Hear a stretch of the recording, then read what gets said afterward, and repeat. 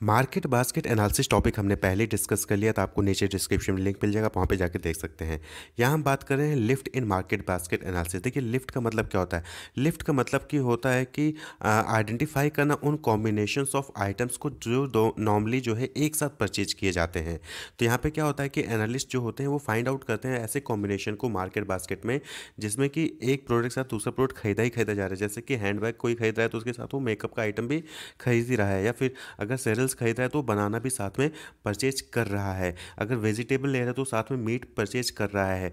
तो ऐसे कॉम्बिनेशन को आइडेंटिफाई करना ही क्या कहलाता है? लिफ्ट कहलाता है। लिफ्ट का मतलब क्या हो गया कि एक प्रोडक्ट की वजह से दूसरे प्रोडक्ट की भी डिमांड हो रही है। एक प्रोडक्ट परचेज कर रहा है तो उसके साथ दूसरे प्रोडक्ट भी परचेज किया जा रहा है तो वो लिफ्ट कहलाता है। Lift can be calculated as two way और थ्री वे एसोसिएशन यानी कि लिफ्ट टू वे मतलब कि जहाँ पे हम दो प्रोडक्ट के बीच में एसोसिएशन को फाइंड आउट करते हैं, यानी कि अगर सेल्स के साथ बनाना भी लिया जा रहा है या फिर ब्रेड के साथ चीज़ भी लिया जा रहा है। तो टू प्रोडक्ट के एसोसिएशन को देखते हैं। वहीं पर थ्री वे में थ्री प्रोडक्ट्स के एसोसिएशन को देखते हैं। तो जितना ज़्यादा लिफ्ट होता है, उतना ही ज़्यादा जो है एसोसिएशन होता है एफिनेटी होता है, उतने ज़्यादा चांसेस होते हैं कि एक प्रोडक्ट के साथ दूसरा वाला प्रोडक्ट भी परचेज किया जाए। क्लियर तो ये हायर लिफ्ट इंडिकेट करता है। नॉर्मली वन या वन से ज़्यादा होता है तो यहाँ पे, वहाँ पे एफिनेशन एफिनिटी होती है। यानी कि एक प्रोडक्ट के साथ दूसरा प्रोडक्ट भी परचेज किया जा सकता है। लेकिन जहाँ पे वन से कम जो है लिफ्ट होती है तो वहाँ पे फिर उस केस में जो है चांसेस कम होते हैं कि एक प्रोडक्ट के साथ दूसरा प्रोडक्ट भी परचेज किया जाए। यानी कि सेरल के साथ बनाना परचेज किया जाए, वहाँ पर चांसेस कम होंगे। अगर एफिनिटी यानी कि लिफ्ट जो है वो एक से कम होगी, वहीं पर एक से ज़्यादा है तो चांसेस ज़्यादा होंगे। तो अगर आपको लिफ्ट जो है, पता चल जाता है और लिफ्ट ज़्यादा है, यानी कि हायर लिफ्ट है तो उस केस में जो है आपको बहुत तरीके से हेल्प करता है। जैसे placing of product next to each other so that a greater number of customers who purchase one product are likely to pick up the second यानी कि अगर आपको पता है कि ब्रेड और चीज़ एक साथ परचेज किए जाते हैं, उनकी लिफ्ट ज़्यादा है तो ब्रेड के सामने ही आप चीज़ को प्लेस कर दोगे, जिससे कि जो भी ब्रेड परचेज करे तो तुरंत चीज़ भी परचेज कर लेगा। तो इससे जो है आसानी होती है कस्टमर्स को भी सेल्स भी इनकी होती है। दूसरा रिटेलर कैन पैकेज और bundle them together to increase sale of one of the product which has lower frequency of sale यानी कि दो चीज़ें हैं, अब इसमें से एक जो है सेल, उसकी कम हो रही है। तो आप जो है दोनों को कंबाइन कर दो, क्योंकि आपको पता है कि इसके साथ परचेज किया जाता है तो उन दोनों को कंबाइन कर दो बंडल कर दो तो उससे क्या होगा, आपका सेल इंक्रीज होगा जिसको हम क्रॉस सेलिंग में कहते हैं।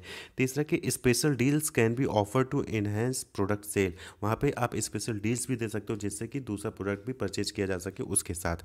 तो ये चीज़ें आपको देखनी है एनालाइज करनी होती हैं मार्केट बास्केट एनालिसिस में। तो इससे क्या होगा चौथा ऑप्शन आपके, आपको ऑटोमाइजिंग स्टोर लेआउट है यानी कि आप स्टोर लेआउट जो होता है, कि कहाँ प्रोडक्ट कैसे प्लेस किया जाना है, उसको भी ऑप्टिमाइज कर सकते हैं। इस तरीके से प्लेस कर सकते हैं कि एक आइटम के साथ दूसरा आइटम आपको विजिबल रहे, कि उसको परचेज किया तो उसको भी परचेज कर लेगा।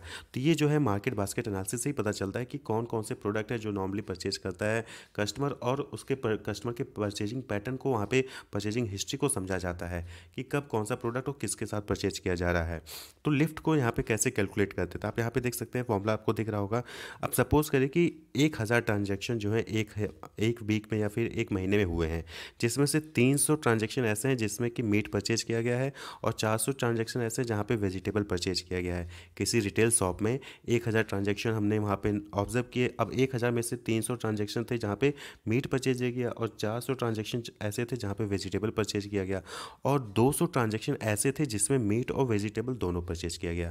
कहने का मतलब है कि 200 बार ऐसे ट्रांजेक्शन हुए हैं जहाँ पे मीट और वेजिटेबल दोनों की बिलिंग हुई है एक ही बिल में।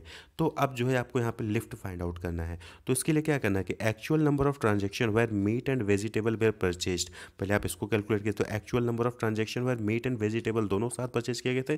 दैट इज़ टू अब है टोटल नंबर ऑफ़ ट्रांजेक्शन वो आपको पता है वन वहीं पे in fraction of time meat was purchase यानी कि कितनी बार मीट परचेज किया गया था? तो जस्ट फोर टाइम्स तो आपको क्या करना है? सॉरी थ्री हंड्रेड टाइम्स तो three hundred divided by one thousand दूसरा into fraction of time vegetables were purchase कितनी बार जो है वेजिटेबल परचेज किए गए थे? तो फोर हंड्रेड टाइम्स तो four hundred divided by one one thousand आपका आ जाएगा पॉइंट फोर ज़ीरो तो अब आपको इसको सॉल्व कर लेना और आपका पॉइंट सॉल्व करने के बाद आ जाएगा वन पॉइंट सिक्स सेवन तो यहाँ पर आप देखेंगे कि एफिनिटी क्या है? यानी कि जो लिफ्ट आया है वो वन से ज़्यादा है. यानी कि यहाँ पर प्रोबेबिलिटी है, इस चीज़ के ज़्यादा चांसेस हैं कि वेजिटेबल के साथ मीट भी परचेज किया जाता है. यानी कि दोनों को एक साथ परचेज किया जा सकता है। तो अब जो है आपको अपने लेआउट को स्टोर लेआउट को इस तरीके से प्लान करना है कि वेजिटेबल जहाँ रखा है, वहीं पे आसपास मीट भी रखा हो, जिससे कि जो वेजिटेबल लेने आए तो वो मीट भी परचेज कर ले, क्योंकि दोनों के एफिनिटी दोनों की लिफ्ट जो है वो वन से ज़्यादा है। तो इस तरीके से जो है आप कंप्यूट कर सकते हैं two way lift wish you all the best keep watching